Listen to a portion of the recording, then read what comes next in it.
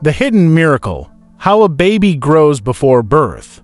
The journey of human life begins long before birth, unfolding in a miraculous process of development inside the mother's womb. From a single fertilized cell to a fully formed baby, the stages of prenatal development are both intricate and audacious-inspiring. 1. Conception, the beginning of life, life begins when a sperm cell from the father fertilizes an egg from the mother, forming a single cell called a zygote. This cell contains all the genetic information needed to determine the baby's traits such as eye color, hair color, and even aspects of personality. The zygote rapidly divides and travels through the fallopian tube to the uterus where it implants itself into the uterine lining. 2. The first trimester, weeks 1 to 12, foundation of life, weeks 1 to 4. The developing baby, now called an embryo, forms a neural tube, which later becomes the brain and spinal cord. The heart starts beating around the third week.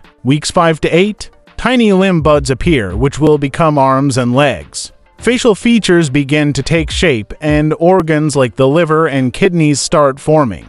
Weeks 9 to 12. The embryo becomes a fetus, meaning all major organs and body systems are in place. The baby starts moving, though the mother may not feel it yet. 3. The second trimester, weeks 13 to 26, rapid growth and movement. The baby grows rapidly, developing fingerprints, hair, and the ability to hear sounds. Around week 20, the mother may feel the first movements known as quickening. The brain develops rapidly, and by the end of this stage, the baby's lungs begin to produce surfactant, a substance that helps with breathing after birth. 4. The third trimester, weeks 27 to 40, preparing for birth.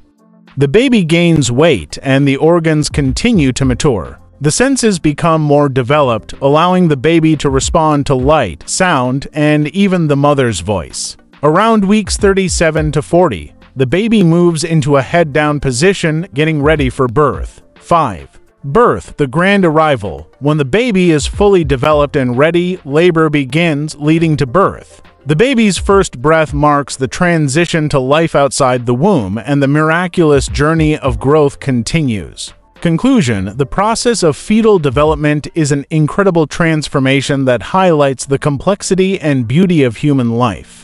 Every stage is a delicate, well-coordinated event that ensures the baby is ready for the world. Understanding this hidden miracle helps us appreciate the wonder of life even before birth. Would you like more details on any specific stage?